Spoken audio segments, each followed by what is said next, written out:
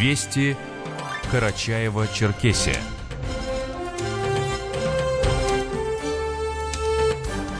Здравствуйте, в студии с новостным блоком Умар Тикеев. Коротко о некоторых темах. Из ковидного отделения Черкесской городской клинической больницы выписаны последние два пациента. Спрос на курорты Карачаева-Черкесии в летний период повысился на 14%. Команда студентов-волонтеров из всех субъектов Северокавказского федерального округа примут участие в экологической игре по сбору мусора в Архизе. Спортсмен из Карачаева-Черкесии Азамат Кубанов завоевал золото чемпионата по джиу-джитсу. Далее об этих и других темах подробнее.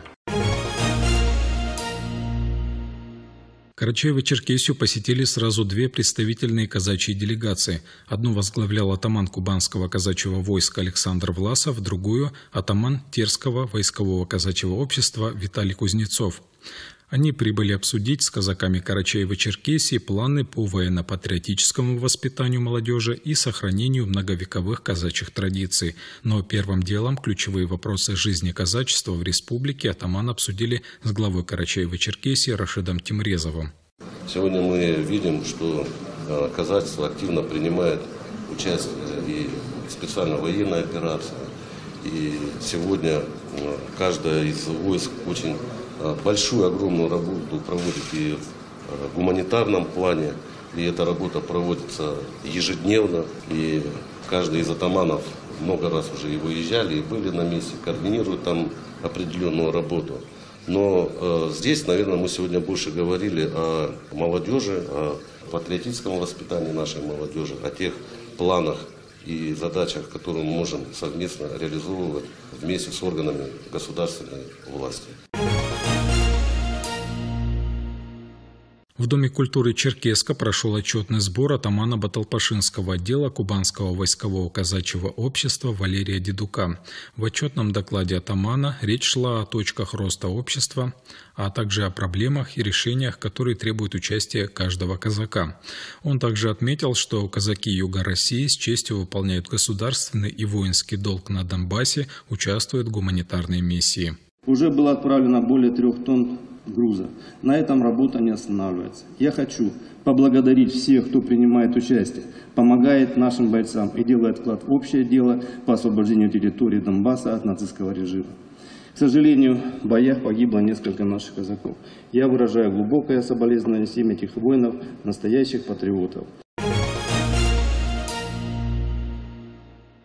Руководитель региона Рашид Тимрезов объявил 11 июля праздник Курман-Байрам нерабочим днем в республике. В прошлом году из-за сложной эпидобстановки коллективную молитву в мечетях на Курман пришлось отменить. В этом году коронавирус отступил, а значит праздник пройдет в традиционном формате. Согласно исламской традиции, на Курман-Байрам каждый правоверный мусульманин должен принести в жертву барана или корову. Курман знаменует окончание хаджа, ежегодного паломничества в священную землю, которое хотя бы раз в жизни должен по возможности совершить каждый мусульманин. Верующие в этот день вспоминают жертву пророка Ибрахима, ходят в мечети и раздают милостыню бедным. Комментирует информацию председатель Координационного центра мусульман Северного Кавказа, муфти Духовного управления мусульман Карачаева-Черкесии Исмаил Хаджибердиев. Вот этот курман, когда мы режем, это не означает, что ты порезал вот этого барашку или бычка, и все это положил, и будешь от него потихонечку кушать. Нет. Его надо разделить на три части. Одну часть себе, одну часть соседям и одну часть бедным. Надо раздать. Если нет таких, тогда уже надо отнести в мечеть, в медресе, там, где учатся ребята, чтобы они это все кушали. А сейчас у нас в каждом селе есть и мечеть, есть и медресе. Если нет, вот у нас здесь есть исламский институт, в Учкикене есть медресе, там у них есть холодильники, складывают, и они оттуда кушают потихоньку. Вот это вот правило курмана – Команды студентов-волонтеров из всех субъектов Северокавказского федерального округа примут участие в экологической игре по сбору мусора в Архизе. Центральное событие мероприятия – эко-игра по сбору мусора. Команда студентов-волонтеров по 5 человек из каждого субъекта, всего 35 волонтеров, примут участие в однодневном соревновании по очистке курортной зоны от мусора. Команда-победитель, собравшая наибольшее количество отходов, в качестве награды получит четырехдневно оплаченный отдых на курорте. Как получить на реализацию своей идеи несколько сотен тысяч рублей? Креативная молодежь Карачаева-Черкесия может принять участие в грантовых конкурсах. Эксперты оценят их работы в ходе нескольких северокавказских форумов, которые пройдут в нашей республике в ближайшие месяцы. Какие еще молодежные мероприятия запланированы в Карачаево-Черкесии в ближайшее время, рассказал министр по делам молодежи Ибрагим Татаркулов. Это площадка, которую Министерство по делам молодежи направило в качестве заявки для рассмотрения Федеральным агентством по делам молодежи для организации и проведения окружных форумов и площадок на территории нашего субъекта. Наша заявка, как и Махар, как и Дни карьеры, была признана победителем Федеральным агентством по делам молодежи, включена в план график мероприятий. И в рамках проведения данного форума некоммерческий сектор Карачаево-Черкесии-Черкасского федерального округа получит возможность презентовать свои инициативы в целях получения грантовой поддержки. В этом году Управлением Государственной службы занятости населения совместно с нами, Министерством по делам молодежи Карачаева-Черкесия, значит, запущена государственная программа оказания и содействия занятости молодежи Карачаева-Черкесской республики. Данную инициативу мы считаем более чем актуальной. Благодарим Рашида Бориспиевича Темрезова, главу Карачаево-Черкесской республики, за поддержку. И как раз Центр «Моя карьера» будет заниматься непосредственной деятельностью, направленной на оказание содействия в трудоустройстве и успешной самореализации молодежи Карачаево-Черкесской республики в профессиональной деятельности. 19 школах Карачаева-Черкесии появятся современные центры детских инициатив. Это будет место школьного объединения, настоящий штаб для ребят, место встречи сборов, где самые активные ученики будут заниматься внеурочной деятельностью. Для работы центра будет выделено отдельное помещение либо зона в рекреации. Об этом рассказала заместитель министра образования и науки Лейла Атаева. Программе модернизация систем образования есть четыре основные задачи, шесть мероприятий. И одним из мероприятий идет как раз открытие центров детских инициатив. Э, что это такое? Это э, некое зонирование пространства, в котором будет собираться актив школы. Таким образом, вот э, подобная зона рекреации для детей, активистов, это российское движение школьников, это представители э, движения юнармия, это различные, может быть, школьные спортивные клубы, это могут быть э, дети, которые занимаются в театральных кружках, ну и разные другие активности, которые сопровождают сегодня жизнь школьника. И надо дать детям возможность своего такого пространства, в котором они могли бы обсуждать э, интересы, обсуждать какие-то возможные мероприятия, в которых они бы хотели принимать участие. На базе Черкесской городской клинической больницы из ковидного отделения выписаны последние два пациента. По данным регионального Минздрава, здесь будет уменьшено количество койко-мест до пяти, но само отделение закрываться не будет до полной победы над коронавирусной инфекцией в республике. В настоящее время в республике лечение от COVID-19 проходят 10 пациентов. В республике продолжается диспансеризация населения, которая может пройти любой желающий. Однако в зависимости от возраста меняется периодичность диспансеризации с 18 до 39 лет раз в три года, с 40 каждый год после перенесенного COVID-19 не ранее 60 дней после выздоровления. При этом, чтобы бесплатно обследоваться, не обязательно иметь какие-либо жалобы. Зато необходимо добровольное согласие, полис ОМС и прикрепление к поликлинике. В ходе капитального ремонта в Центральном парке республиканской столицы строители обнаружили склеп ориентировочно XIX века. По мнению историков, в нем могут быть захоронены либо основатели станицы Баталпашинской, ныне город Черкесск, либо священнослужители бывшего Никольского собора, здание которого ранее находилось неподалеку. Есть вероятность, что после того, как ученые определят границы захоронения, часть Центрального парка Черкесска будет признана объектом культурного наследия. Информацию комментирует начальник управления ЖКХ мэрии Черкеска Сергей Елисеев. Археологи занимаются обследованием этого захоронения. После того, как все меры по обследованию будут приняты, возможно, получится определить, чье это захоронение. После этого будет принято решение уже его перезахоронения. То есть это захоронение будет отсюда убрано. Том числе сейчас проводится работа по определению границ участка на территории центрального сквера, на который будет также учеными, которые сейчас занимаются, наложены определенные условия использования. То есть, скорее всего, некий участок будет признан объектом культурного наследия, и ряд работ на нем будет запрещен. Передвижная мобильная клиентская служба отделения Пенсионного фонда России по Карачаево-Черкесии в этом месяце продолжит свою работу. 8 июля мобильный офис побывает в Зеленчукском районе, 14 июля в Карачаевском, 15 числа в Малокарачаевском, 20 в Хабеском, 21 в Карачаевске, 27 и 28 июля в Усть-Жугутинском и Урупском муниципальных образованиях соответственно.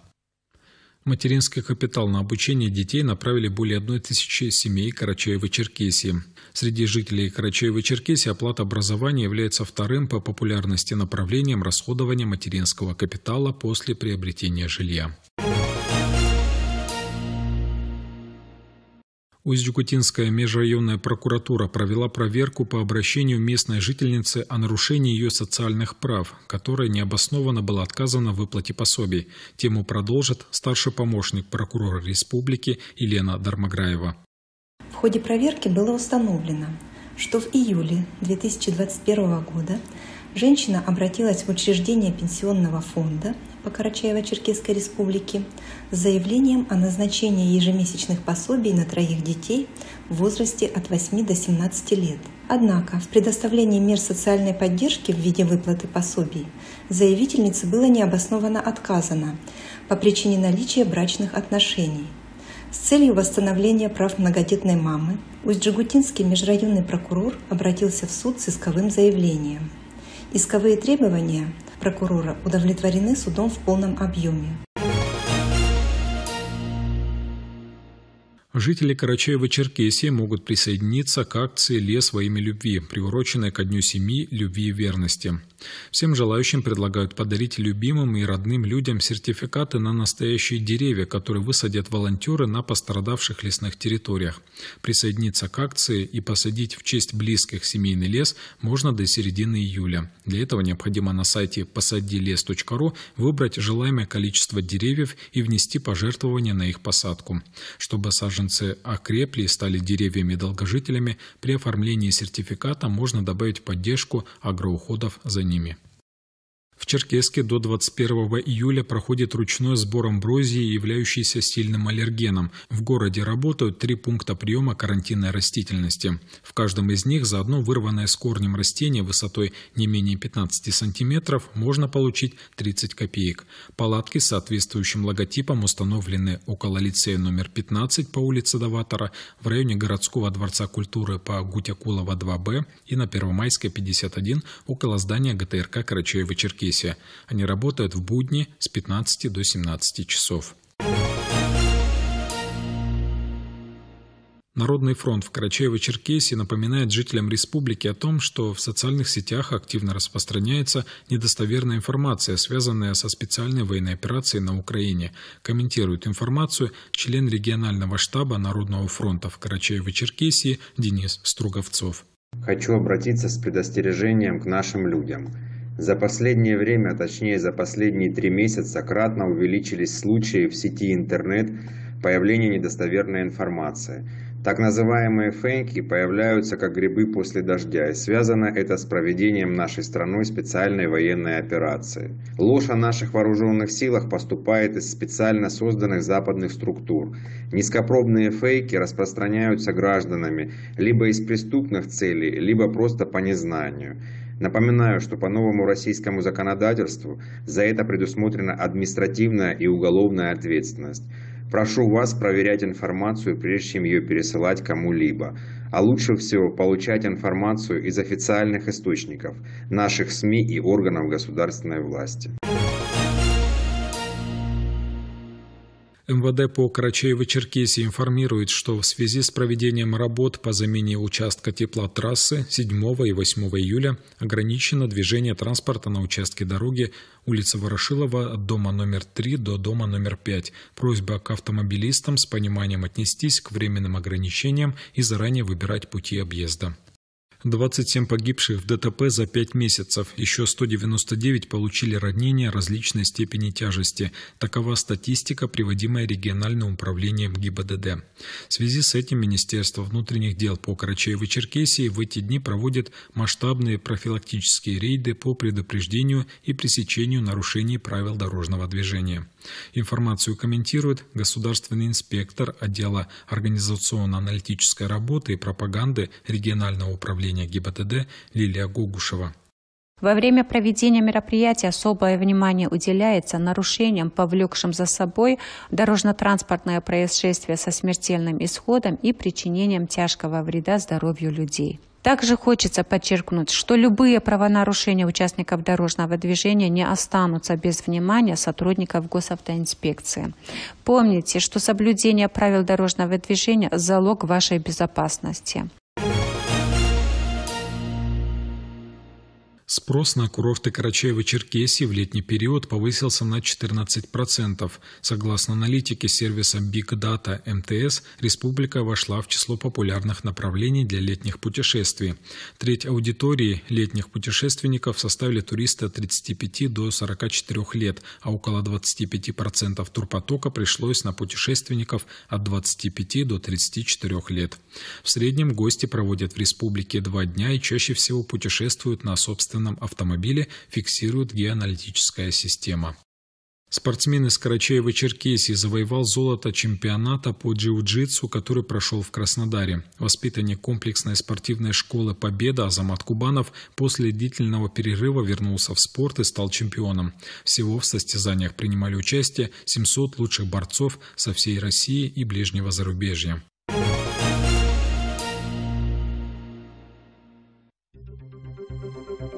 Радио России. Карачаево-Черкесия. Погода.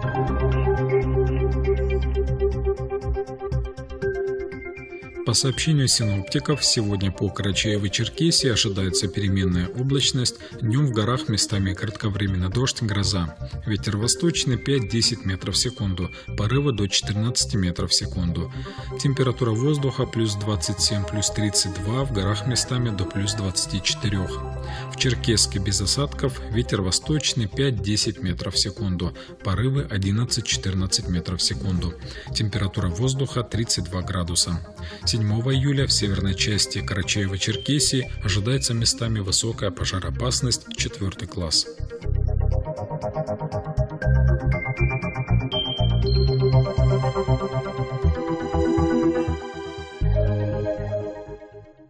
Это все новости к этому часу. С ними вас знакомил Умар Тикеев. Берегите себя и своих близких. Всего доброго.